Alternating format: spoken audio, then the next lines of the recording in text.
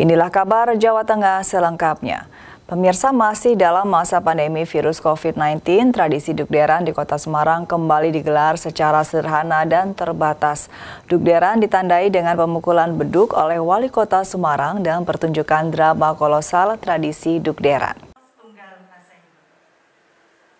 Masih dalam masa pandemi COVID-19, pemerintah kota Semarang kembali melaksanakan tradisi dukderan secara sederhana.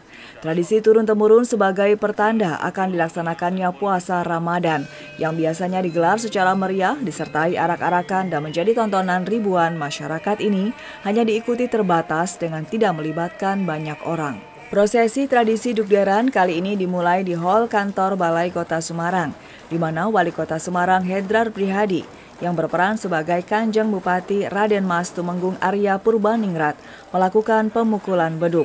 Selain itu juga ditampilkan drama kolosal Dukderan yang berisikan tentang mainan-mainan yang selalu ditunggu anak-anak saat menjelang puasa.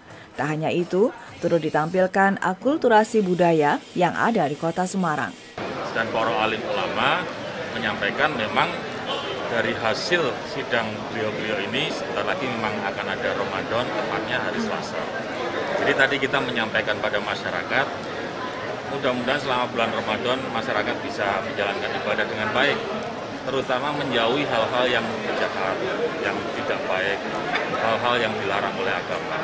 Dan ini tadi kita sampaikan secara umum pada masyarakat lewat prosesi yang namanya duderan itu. Tadi lebih tahun lalu tahun lalu kan memang kita lagi belajar ya, belajar karena pandemi COVID-19. Sehingga kita tidak berani untuk mengadakan sebuah prosesi yang mungkin warganya datangnya uh, bisa menimbulkan potensi penyebaran virus. Tapi hasil dari belajar setahun ini kita tahu yang penting adalah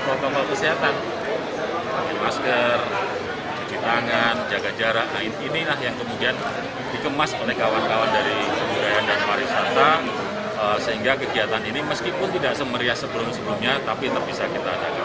Tradisi Dukderan sendiri setiap tahunnya selalu digelar meriah. Di antaranya ditandai dengan pasar Dukder satu minggu sebelum datangnya bulan Ramadan.